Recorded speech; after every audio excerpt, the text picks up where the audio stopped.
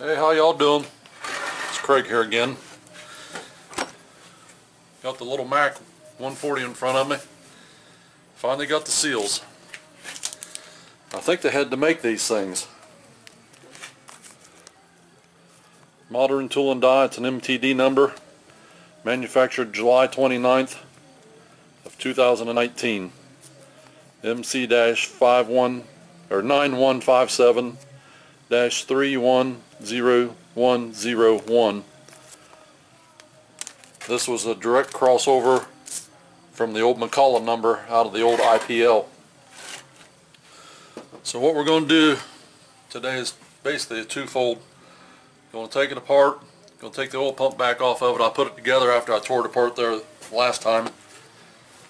And I want to see just exactly how this oil pump operates inside the crankcase. Um, I've never been in it, but I'm going to have to assume it's just a an open transfer port for the crankcase pulse to operate the plunger inside this pump here. So we'll take this pump back apart, we'll take the bottom off, clean it all up, reseal it, put the, the new crank seals in it, uh, put some Permatex gasket, some ultra black on it, get it sealed back up and then we'll just let it set a day, maybe two, and then I'll start reassembly. So take this pump back apart here.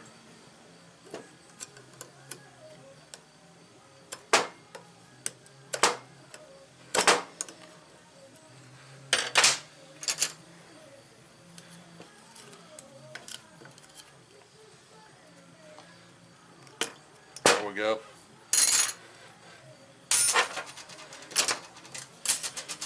Remember it was just a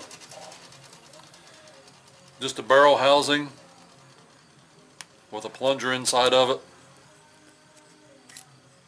a spring, and a some kind of a, an insert that creates a chamber. So I'm just going to leave that like it is. Kind of back off to the way here.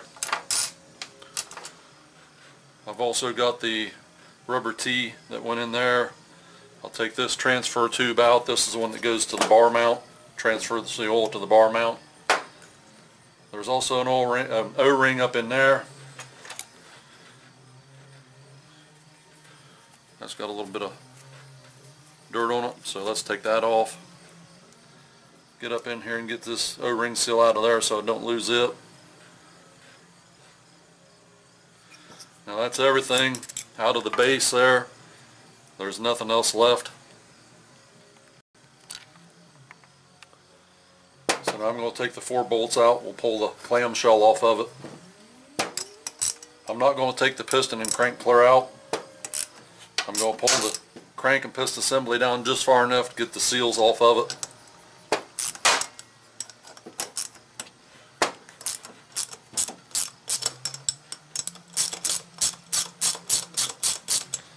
I don't know if you can hear the radio in the background. I do have the radio playing today. Fans not running. Kind of a really nice day out. This is Saturday. It's about 2 o'clock in the afternoon. Um, what is it, August the 24th I believe it is today. And um, right now it's probably about, I'd say probably about 82, 83 degrees out. Partly cloudy humidity's kind of low.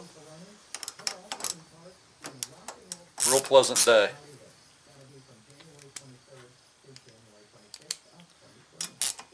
Little bit of a breeze, not much. I do have the, the barn door open today.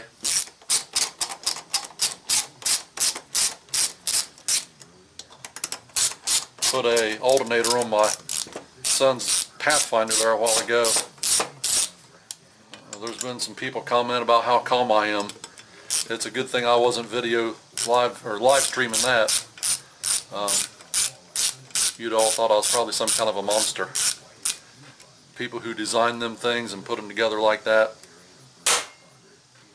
You I'm not going to say what should happen to them, but that's just ridiculous that the the way they do stuff like that. Literally had to take the power steering pump off of it. Had to remove the fan blade, the fan clutch, and the radiator shroud. had to take the top radiator hose off get the fan shroud out. All to get to one bolt on the alternator that was actually a bolt that held the wiring harness to the back of it. But enough about that Pathfinder. Here comes the clamshell.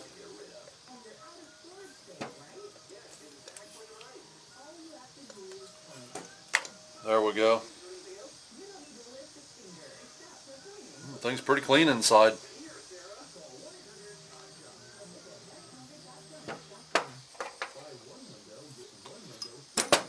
So we'll pull that up just enough to, to get that off.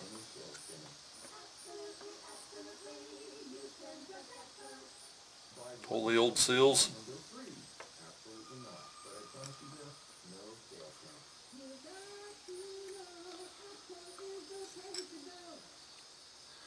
Old roller cage bearing. I'll take and clean them all up before I put it back together also.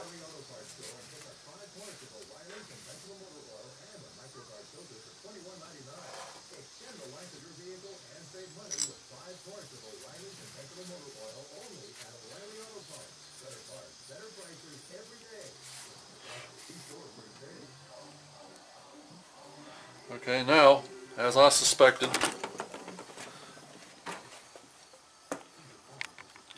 here's,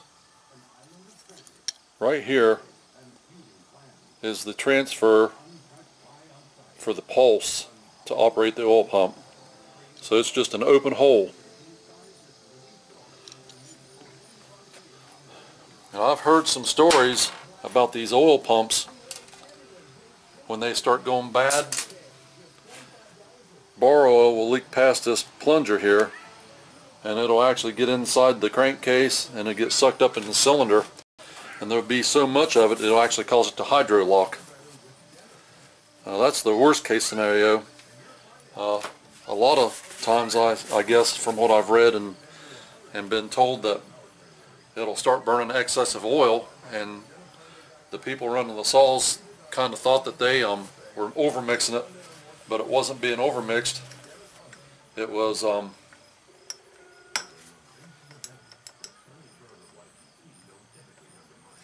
well, I got sidetracked. It was sucking crankcase oil, or not crankcase, but oil in, into the crankcase, and that's what was causing the excess of oil to burn. And um, from what I've been told is when that starts happening, because this saw actually has an automatic, I mean not an automatic, but a manual oiler as well as an automatic, that guys would just take and they would plug this hole, they would take and tap and put a little set screw in there and Loctite it or whatever to block that pulse hole off.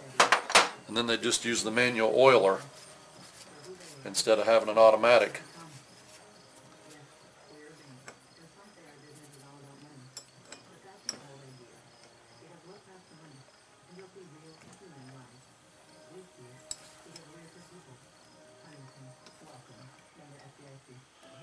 There's no up and down movement at all on them bearings. It does have a little side to side lateral rock, so to say, but nothing up and down.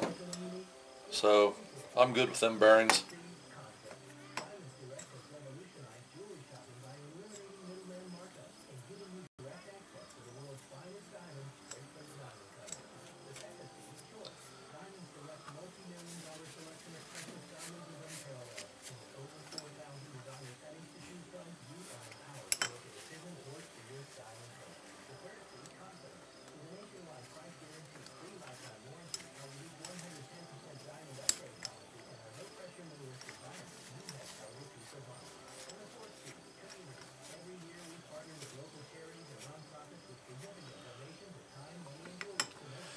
Okay.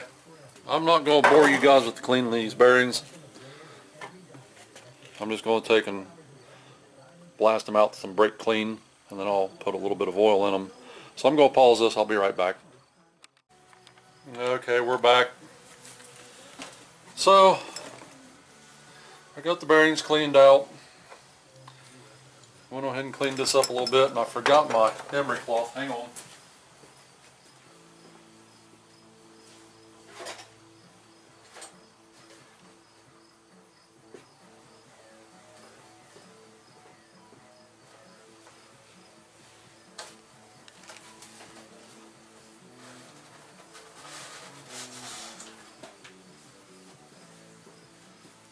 Know I said emery cloth, but that isn't what I meant. I meant my Scotch Brite.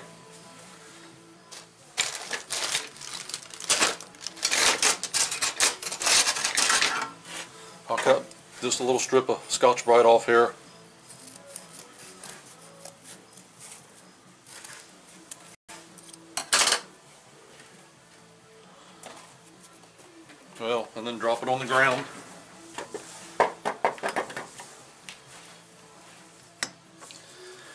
I just want to kind of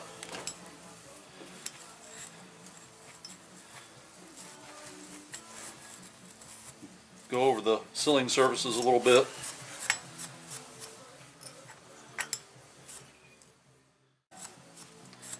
Give it just a little bit of a shine also.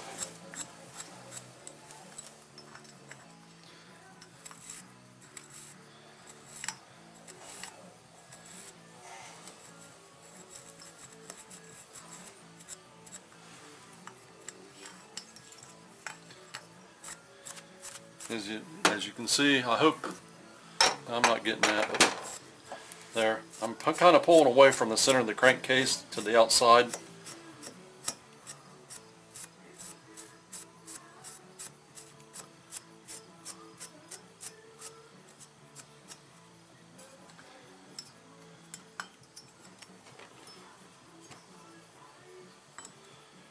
Okay, I'm going to do the same thing to the clamshell here.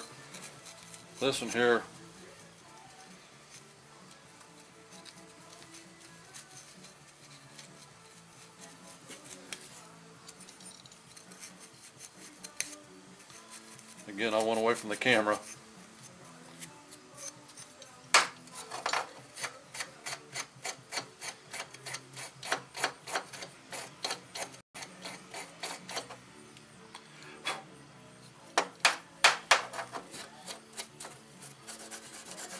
Not too particular about this because this can be blowed out.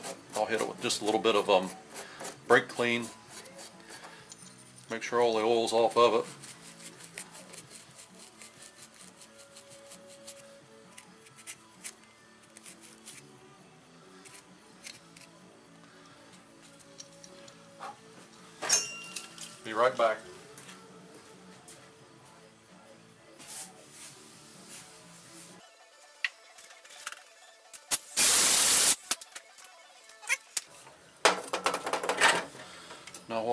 Just take a paper towel,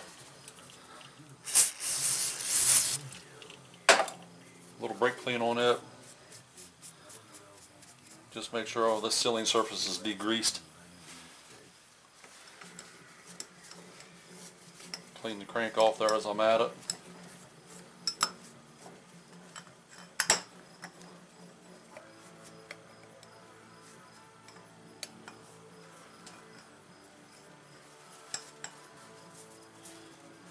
That seal pocket there.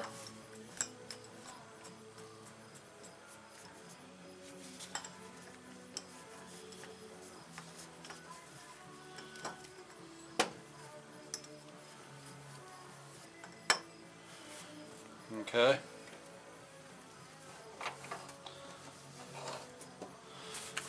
Now as you all know I like to use this little 3-in-1 oil on my bearings and my seals when I'm putting them back together. Make sure these are clean. They look good.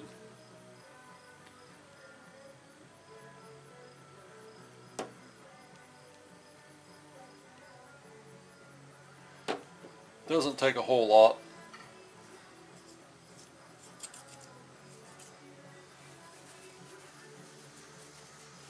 Take my brake clean rag here, just go around the outside of that. Not that it's really going to make a difference because we're actually not sealing on that.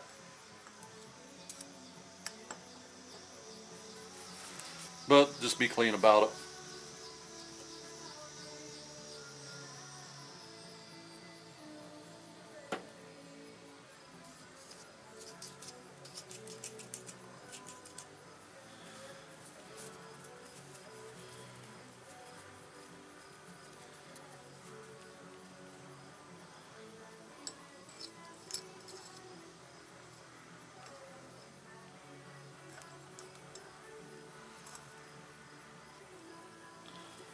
Okay.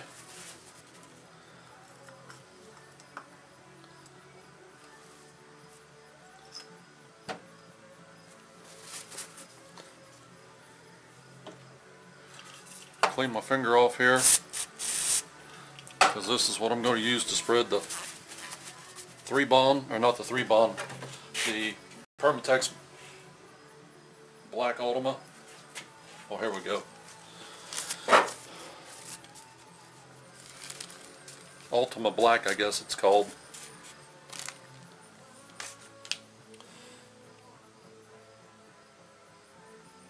And it's not going to take a whole heck of a lot here.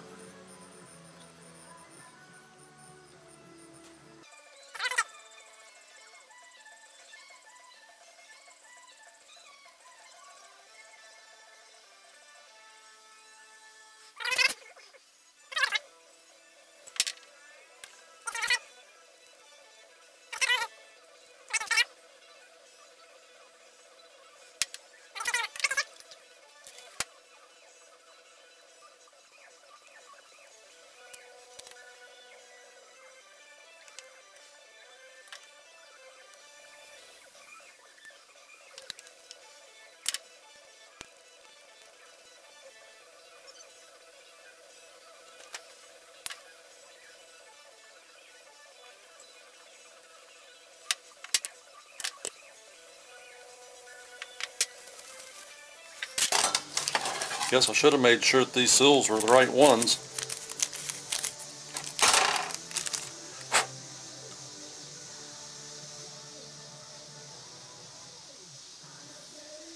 Look good to me.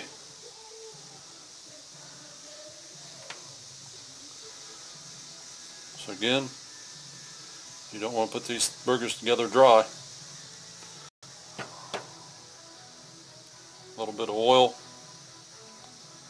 Seal lip inside and out.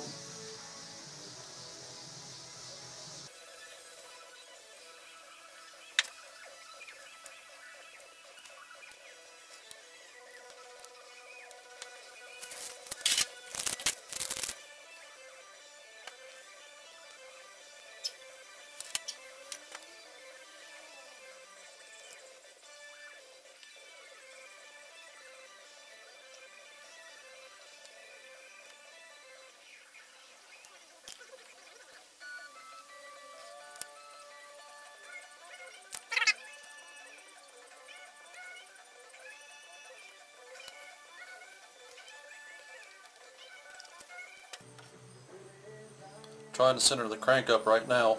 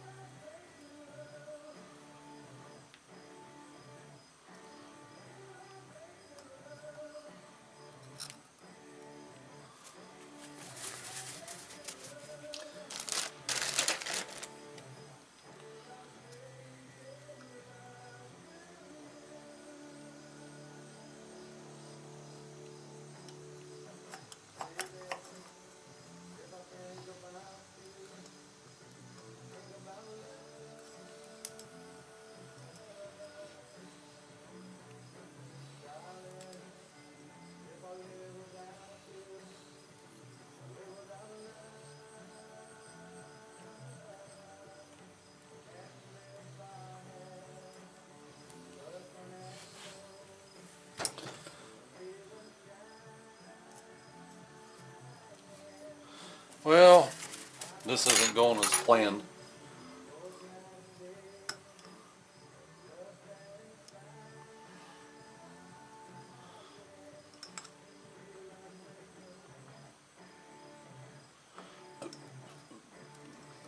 Trying to get these seals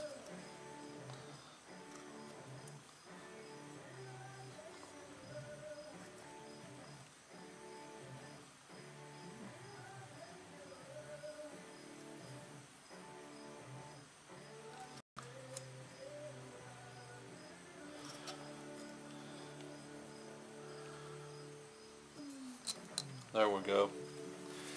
That looks good.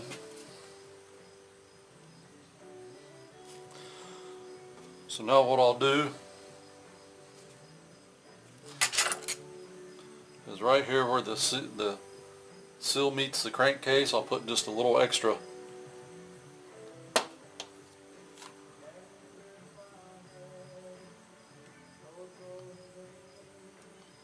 just to make sure it's got a good seal on it.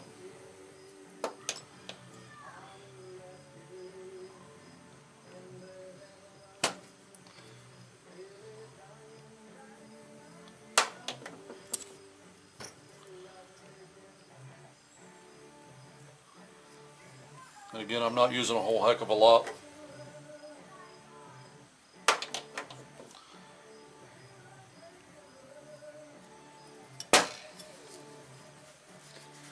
Okay. Flywheel side, clutch side. Make sure you put the clamshell on proper. Hopefully this time I'm going to get it right the first time. The bar mounts on the clutch side.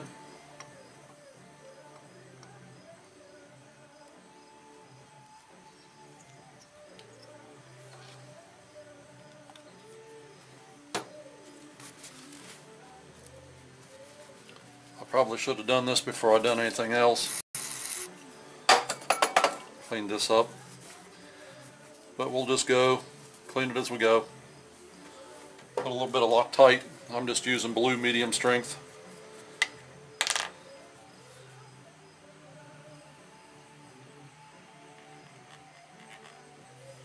Doesn't take a whole heck of a lot.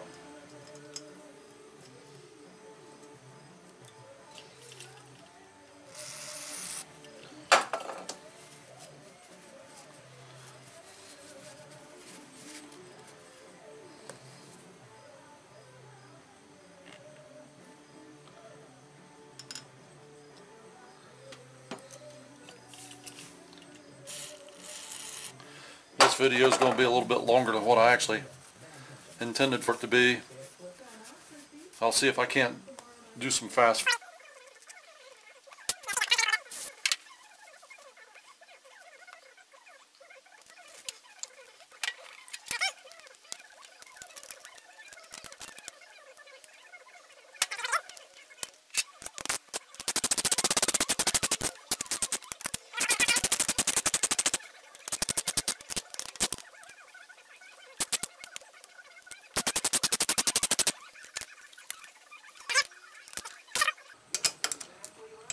Screws, pop metal. You don't want to break your your bolts or your taps as I like to call them.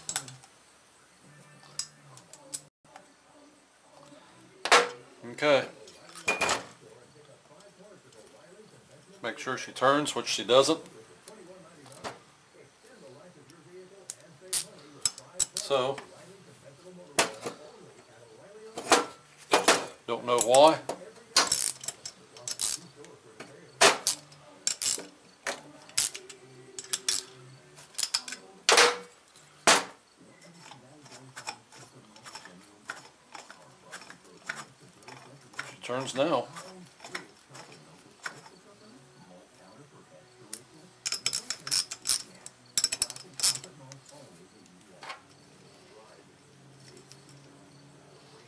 Locked up now.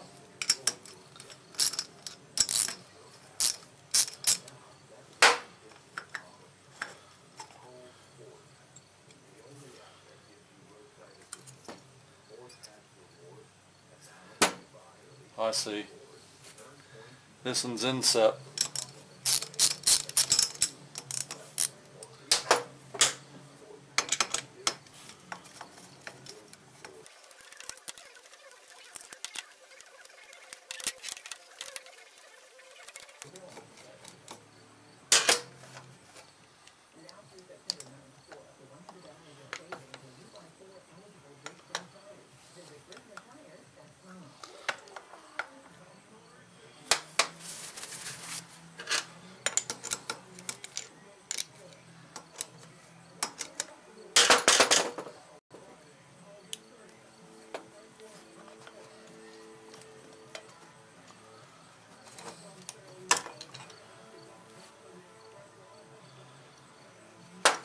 Okay.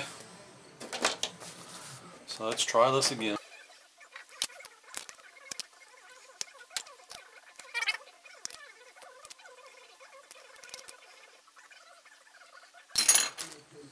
Okay.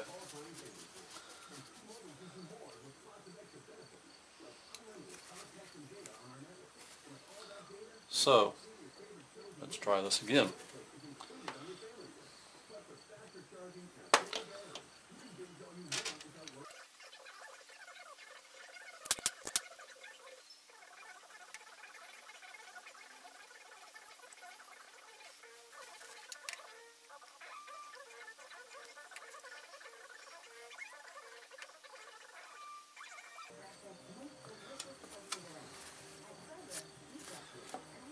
Okay.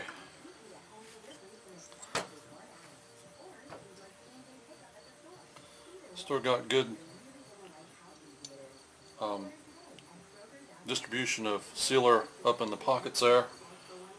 This is the clutch side.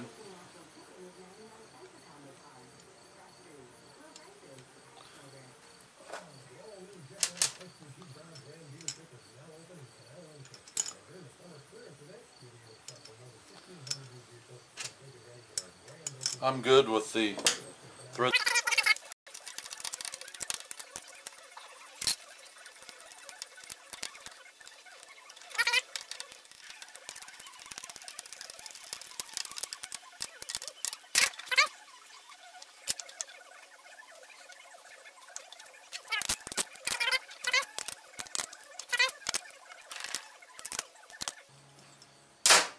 Still turns.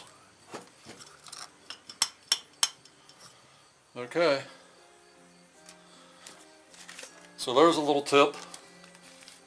Uh, when you're reinstalling the clamshell, the seals and the bearings on one of these, keep an eye on where the bearing and the seal is positioned in the cylinder base and also in the clamshell.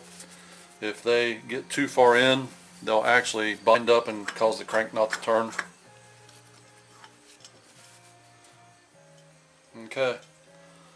So,